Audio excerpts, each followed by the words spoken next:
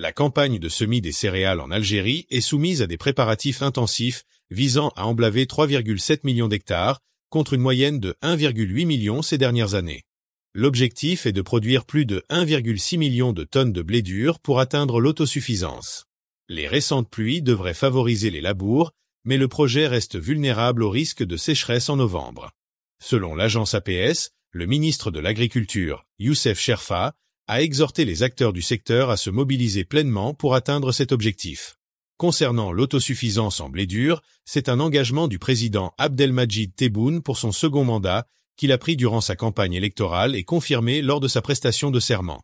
Lors d'une rencontre nationale avec les acteurs de la filière, le ministre a déclaré que toutes les conditions étaient réunies pour un bon démarrage de la saison agricole, avec une prévision de production de 1,645 millions de tonnes de blé dur, en ligne avec les engagements présidentiels pour ne plus recourir aux importations à partir de 2025.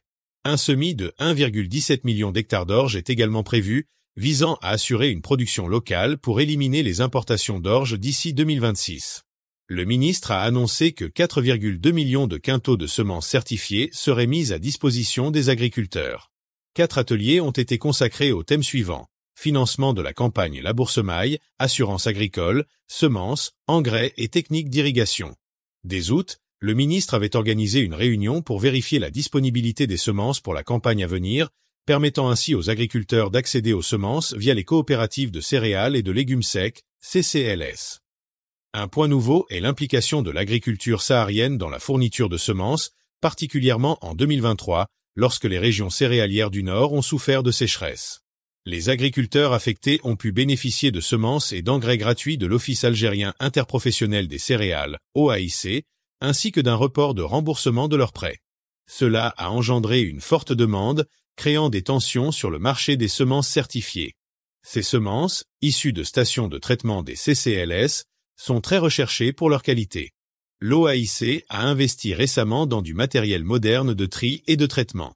Le Centre national de contrôle et de certification, CNCC, est reconnu pour son sérieux dans cette activité.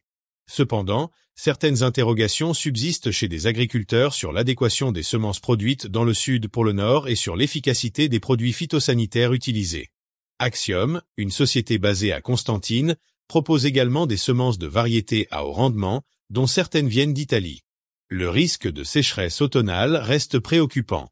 Les agriculteurs de Constantine estiment qu'un rendement minimum de 22 quintaux est nécessaire pour couvrir leurs coûts, un objectif difficile à atteindre en cas de manque d'eau. Face à la sécheresse, certains agriculteurs de l'Ouest envisagent d'abandonner la culture des céréales. L'irrigation d'appoint ne peut être généralisée en raison de l'impossibilité d'irriguer 3 millions d'hectares et de la baisse du niveau d'eau dans les barrages en période de sécheresse.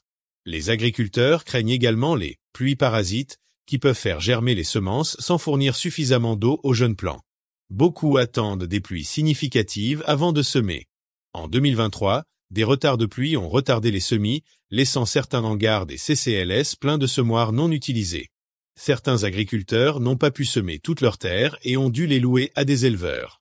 Ainsi, le défi pour la recherche agronomique est de trouver des solutions face au retard possible des pluies en automne.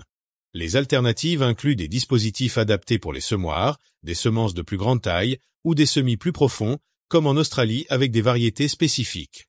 Pour atteindre les 3,7 millions d'hectares, le ministère de l'Agriculture doit garantir l'accès aux semences certifiées, engrais et crédits. Cependant, le niveau de pluviométrie en novembre demeure une incertitude. La recherche agronomique saura-t-elle apporter des solutions aux craintes des agriculteurs face à un éventuel manque de pluie? Sans cela, certains d'entre eux pourraient rester dans l'attente.